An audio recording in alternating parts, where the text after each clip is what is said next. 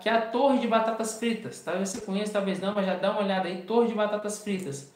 40 reais é o preço médio que é colocado essa batata no mercado.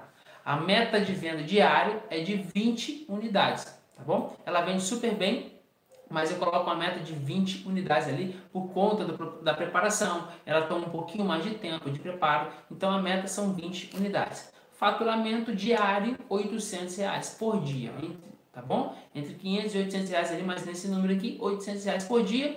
Por semana, 5.600 reais no bolso.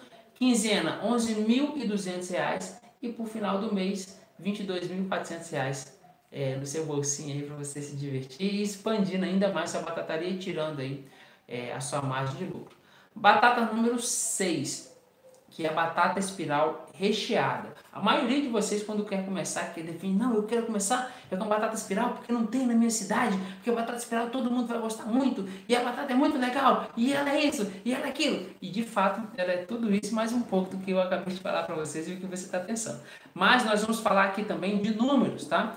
Tá? Nós vamos falar de números para iniciantes aqui, para você que já tem o seu negócio aí, você que já está em atividade com suas batatas, mas ainda não implementou colocou, implementou no seu cardápio a batata espiral, eu te aconselho colocar porque você vai ganhar esse número que eu vou te falar aqui agora.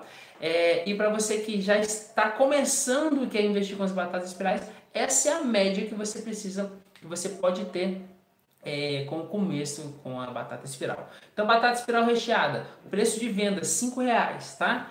É, por que, Rafael? Mas que na minha cidade dá para vender é, uma batata dessa por 5 reais? É só um espeto com batata. Nós estamos falando de batata espiral recheada. Ela tem recheio, ela tem um cream cheese em cima, ela tem um queijo, ela tem um cheddar, ela tem um catupiry, ela é recheada por cima, tá bom? Não é só batata sequinha. Se for batata sequinha, é 3 reais só. Mas coloca ela recheada, você vai ter uma, uma, uma venda mais massiva aí.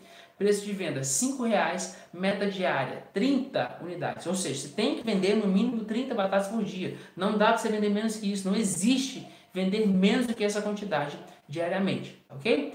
Então, vendendo 30 batatas por dia é R$ reais, você tem 150 reais por dia no seu bolso ali de faturamento, beleza?